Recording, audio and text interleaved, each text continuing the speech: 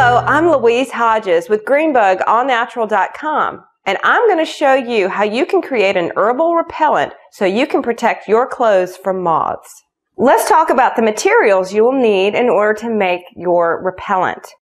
First thing, you'll need some twine.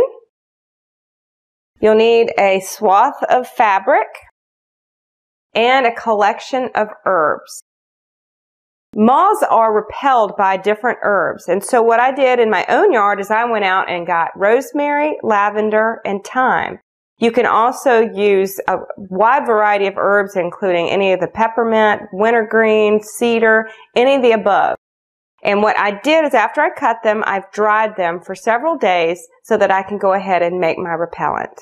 In order to construct my repellent, what I'll do is I'll take my fabric and then I'm going to place the herbs inside. And I'll crumble them up in order to release the fragrance as much as possible. The drier the herbs are, the more they'll disintegrate, but the fresher they are, the more pungent they are.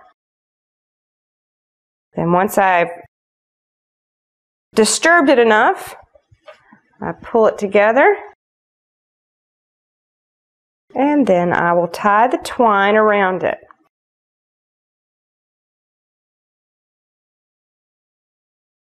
I can then hang this in my closet I can put this in a dresser drawer. I can place this anywhere near my clothes to make sure that the moths are repelled.